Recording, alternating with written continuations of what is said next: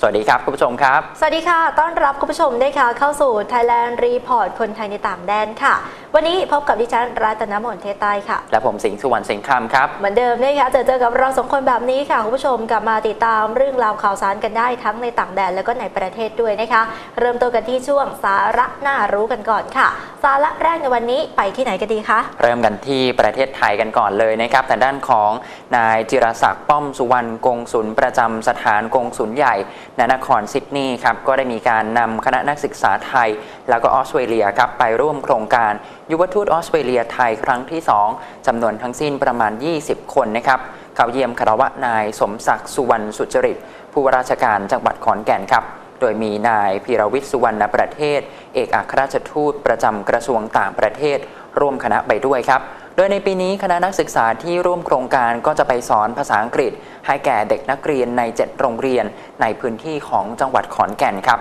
ก็คือเริ่มระหว่างวันที่ 23 มกราคมที่ผ่านมา ยาวไปจนถึงวันที่ 14 กุมภาพันธ์นี้นะครับ จากนั้นเองน้องๆ ก็จะทำกิจกรรมในกรุงเทพมหานครอีก 1 สัปดาห์ด้วยกันครับ ไปดูสาระที่ 2 กันบ้างนะคะที่ประเทศญี่ปุ่นค่ะ คุณผู้ชมคะคุณดำริศวิริยะกุลบรรณาธิการของรายการนะคะก็ได้พาไปชม ต้นซากุระค่ะ ซึ่งก็ถือว่ายังไม่ได้ออกดอกบานสะพรั่งนะคะ ที่กรุงโตเกียว แต่ที่น่าสนใจไปกว่านนั้นก็คือ มีหยดน้ำเกาะให้เห็นสองแสงแวววาวงดงามอีกรูปแบบหนึ่ง นักท่องเที่ยวเดินชม แล้วก็ถ่ายภาพกันอย่างคึกคักเลยละค่ะส่วนดอกซากุระเนี่ยนะคะปีนี้มีการประกาศแล้วว่าจะบานสะพรั่งประมาณวันที่ 20 มีนาคมนี้เป็นต้นไป ซึ่งนักท่องเที่ยวจองโรงแรมที่พักเพื่อไปชมกันไว้ล่วงหน้าไปจำนวนมากแล้วล่ะค่ะ รวมทั้งมีนักท่องเที่ยวจากประเทศไทย ที่ไปเที่ยวกันอย่างล้นหลามก็มีเช่นเดียวกันค่ะนี่ต้องบอกว่าใครอยากจะไปชมดอกซากุระบานๆนี่ค่ะต้องกำหนดวันล่วงหน้าเลยนะครับอืมเพราะว่าส่วนหนึ่งเอง ห้องพักต่างๆ ที่นั่นก็อาจจะเต็มแล้วก็ได้ แต่ว่าส่วนหนึ่งคงจะติดตามผ่านรายการของเรากันได้ เพราะว่าคุณดับริทเองก็คงจะมีบรรยากาศมาให้ได้ติดตามกันเรื่อยๆอยู่แล้วนั่นเองนะครับเดี๋ยวช่วงต่อไปครับพบกับช่วงสัมภาษณ์พิเศษ และนาทีทำนาทีทองครับ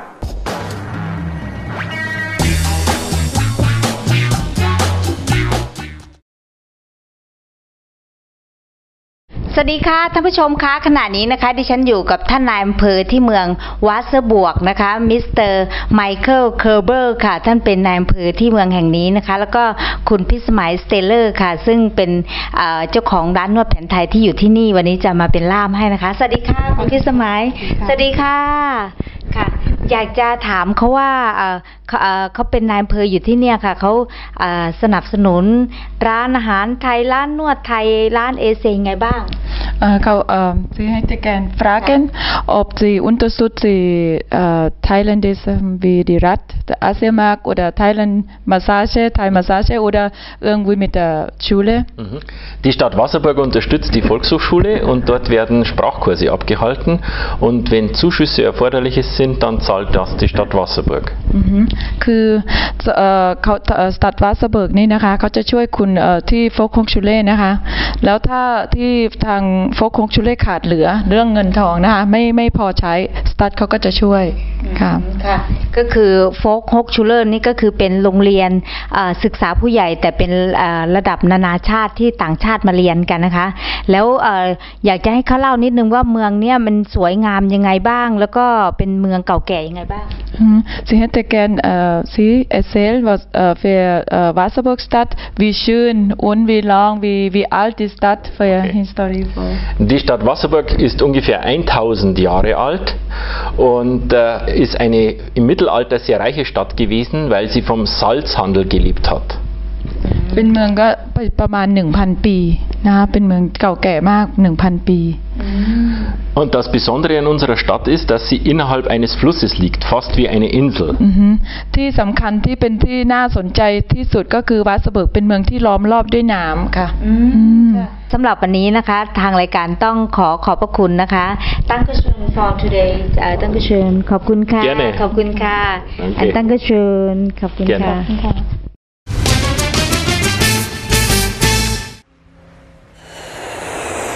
Welcome to Thailand, boys!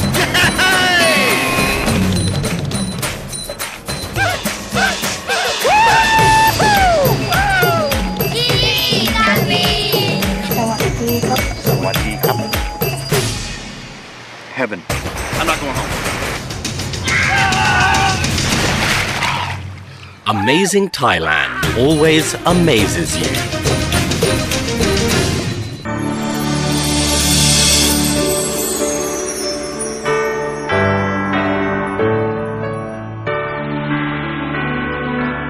ใครก็ตามที่แต่งงานแล้วอยากให้ชีวิตคู่นั้น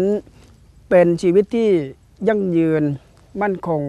แล้วก็มีความสุข พระอาจารย์ก็อยากจะให้หลักการเอาไว้ง่าย ๆ ว่า ในการครองรักนั้นจำเป็นจะต้องครองธรรมร่วมไปด้วย ถ้าเราครองรักอย่างเดียว ก็ไม่แน่ว่าจะมั่นคง แต่หากคู่ไหนก็ตาม ขณะที่ครองรัก ขณะที่ครองเรือน มีการครองธรรมไปด้วย ชีวิตคู่ก็จะร่มเย็นเป็นสุขธรรมที่ควรครองก็คือ 1. ต้องขันติคืออดทนอดกลั้น 2. ต้องสัจจะรักเดียวใจเดียว 3. ต้องปริจจาคะ คือไม่เห็นแก่ตัว ทิ้งความเป็นเธอ ทิ้งความเป็นฉัน หลอมกันเป็นเรา และ 4. ต้องปัญญา คืออยู่กันด้วยการใช้ปัญญา มีอะไรเกิดขึ้นมาพยายามเอาปัญญามาพูดคุยกัน ถ้าใช้คุณธรรมสี่ประการนี้ ร่วมกับการครองเรือนครองรัก ก็มั่นใจได้ว่าชีวิตคู่จะร่มเย็นเป็นสุข และก็ยั่งยืน ตราเท่าถือไม้เท้ายอดทองตระบองยอดเพชร จากสมุนไพรธรรมชาติอันล้ำค่า ผสานด้วยศาสตร์แห่งนวัตกรรมชั้นนำจากยุโรป เนรมิตความงามเพื่อรูปร่าง ผิวหน้า ผิวกายซวงอก เส้นผม เส้นขน ตอบทุกปัญหาความงามของคุณ ซมมี่แอนด์แซนดี้บิวตี้สปา นิยามแห่งความงามและสุขภาพครบวงจร มาตรฐานสากลโลกซีเดสโก Excellent in Quality Excellent in Services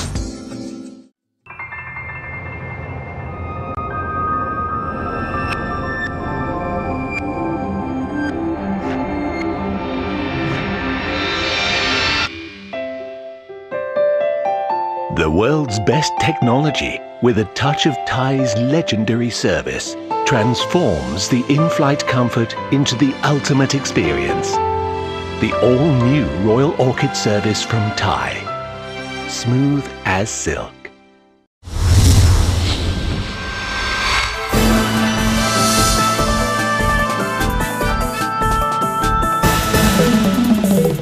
านผู้ชมครับ อันนี้ช่วงการทูตเพื่อประชาชนโดยกระทรวงการต่างประเทศนะครับ ผมอยู่กับคุณอุศนาพิลานนท์นะครับ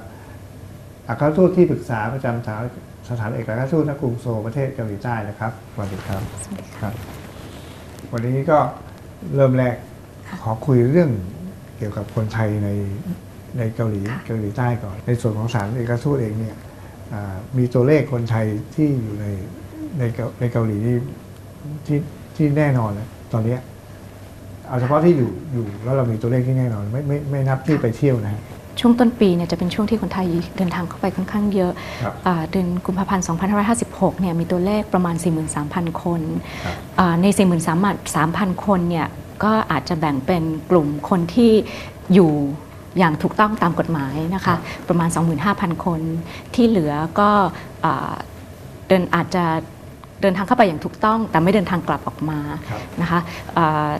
ส่วนใหญ่ก็จะเป็นกลุ่มแรงงานไทย คือไทยและเกาหลีใต้มีระบบการจัดส่งแรงงานระหว่างรัฐบาลต่อรัฐบาลครับนะคะเป็นเป็นระบบที่เราเรียกว่าเอ่อ EPS นะคะครับก็อ่ามีตัวเลขณปัจจุบันนะคะมันจะขึ้นลงตามโควต้าของแต่ละปีอ่าในปี 2556ครับนะคะมีตัวเลขอ่าที่ถูกต้องตามกฎหมายเนี่ย14,000 คนครับค่ะทีนี้ ทีนี้คนไทยที่ปักหลักถาวรเนี่ยอยู่แบบถาวร ค่ะ มีครอบครัวมีกิจการอะไรต่างๆเนี่ยมีประมาณเท่าไหร่อ่าเป็นส่วนใหญ่เป็นคู่สมรสนะครัคะ บเป็นคนไทยที่สมรสกับคนเกาหลีใต้ครับอ่าก็จะมีทั้งผู้หญิงไทยที่ไปสมรส แล้วก็ผู้ชายไทยก็มีนะคะอ่าตัวเลขที่เราได้รับเนี่ยประมาณ 2,600 คน ประมาณหกร้อยคนแล้วกิจการนะฮะคนคนไทยในคนไทยส่วนใหญ่ก็เาทำร้านอาหารนะครัคะบแล้วก็ สปาเพราะอ่า สปาไม่ได้สปาเพระไม่ได้เป็นอาชีพกหลีสงวนค่ะอาชีพอาชีพสงวนค่ะสำหรับเกาหลีแต่ว่าอ่าส่วนใหญ่จะเป็นเป็นกิจการร้านอาหารครับนะคะแล้วก็อ่าบางคนที่ที่เราพบมาก ๆ ก็จะมี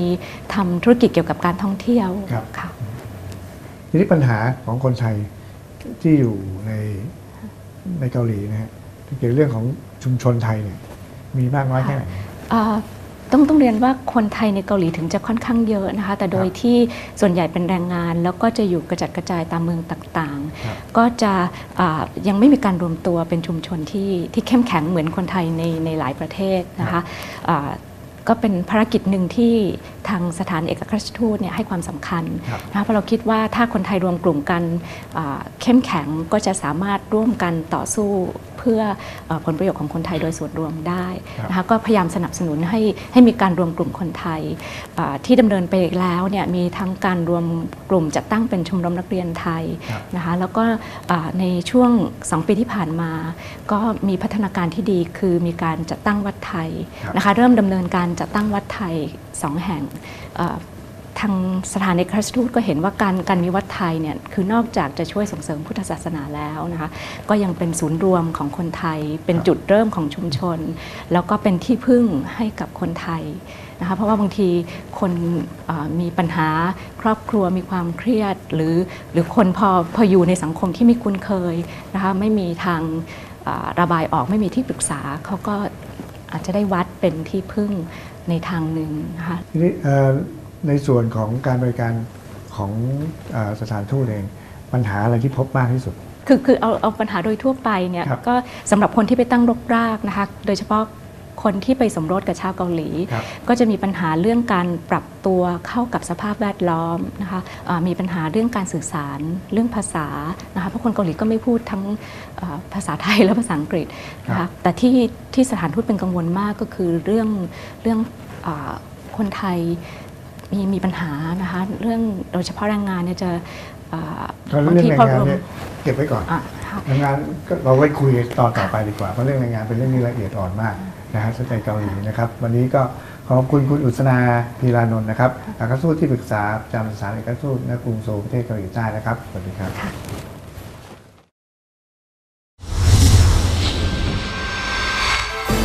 สนับสนุนโดยกระทรวงการต่างประเทศ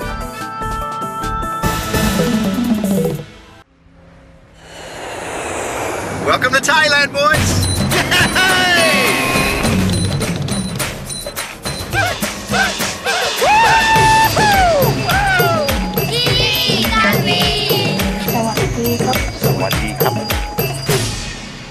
Heaven. I'm not going home.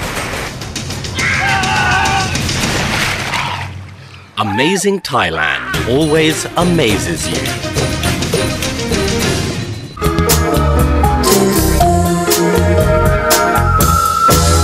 ถึงช่วงปฏิทินต่างแดนกันบ้างค่ะคุณผู้ชมคะไปติดตามปฏิทินแรกกันก่อนค่ะ ใช่ครับ ปฏิทินแรกของเราวันนี้เริ่มกันที่ประเทศไทยนี่แหละนะครับด้านของนายขวัญชนกตันติเวชกุลประธานกรรมการ สมาคมไทยแห่งรัฐจอร์เจียครับพร้อมด้วยกับนางทิติพรพระยา ได้ไปร่วมพิธีสวดพระอภิธรรมศพ สมเด็จพระญาณสังวร สมเด็จพระสังฆราช สกลมหาสังฆปรินายก ที่ตำหนักเพชรวัดบวรนิเวศวิหาร กรุงเทพมหานครครับ ปิดท้ายกันที่ปฏิทินที่ 2 นะคะที่ประเทศเยอรมนีค่ะ สถานเอกอัครราชทูตไทยณกรุงเบอร์ลินนะคะก็ขอเชิญชวนชาวไทยนะคะให้ไปร่วมฟังการบรรยายธรรม และก็ร่วมกันปฏิบัติธรรม ในหัวข้อเรื่องเพียงแค่รู้ โดยพระอาจารย์นวลจันทร์กติปัญโย ระหว่างวันที่ 31 มกราคม จนถึงวันที่ 2 กุมภาพันธ์นี้ ระหว่างเวลา 9 นาฬิกาจนถึง 17 นาฬิกาที่อาคารวิลล่าสถานทูตนะคะคุณผู้ชมสามารถสอบถามเพิ่มเติมได้ค่ะที่หมายเลขโทรศัพท์ 03 0307948101 นะคะอย่าลืมไปกันเยอะๆนะคะก็เป็นกิจกรรมงานบุญดีๆที่นำมาฝากใช่ทิ้งท้ายกันนั่นเองนะครับและหากว่าคุณผู้ชมเองครับมีเรื่องราวข่าวสารที่น่าสนใจแบบนี้ แล้วก็อยากจะฝากประชาสัมพันธ์ ผ่านรายการของเราส่งเข้ามาได้ครับ ผ่านทางอีเมล thaioverseas1 at gmail com ครับและนี่ก็เป็นทั้งหมดของ Thailand Report ของเราในวันนี้นะครับ ขอบพระคุณทุกท่านสำหรับการติดตามรับชม วันนี้เราสองคนพร้อมทีมงานลากันไปก่อนแล้วครับ สวัสดีครับ สวัสดีค่ะ นับสนุนรายการโดยการท่องเที่ยวแห่งประเทศไทย